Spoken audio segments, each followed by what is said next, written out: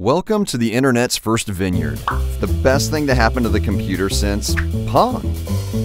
We're giving you five acres of our reserve grapes, the good grapes, the same grapes that made Wine Spectator's 2009 Wine of the Year. And we need you to turn these grapes into Columbia Crest crowdsourced Cabernet. Each week, you'll join casual drinkers, connoisseurs, and wine nerds across the country. Together, you'll vote on every decision that'll affect your wine canopy trimming, fruit thinning, irrigation, when to harvest, blending, barreling, even label design. It's all up to you.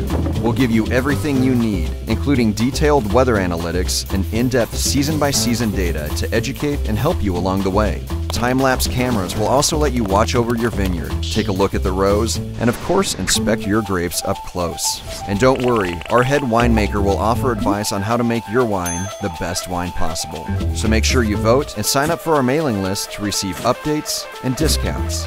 Together, we'll produce Columbia Crest crowdsourced Cabernet, which will be scored by leading wine publications and put on the shelf.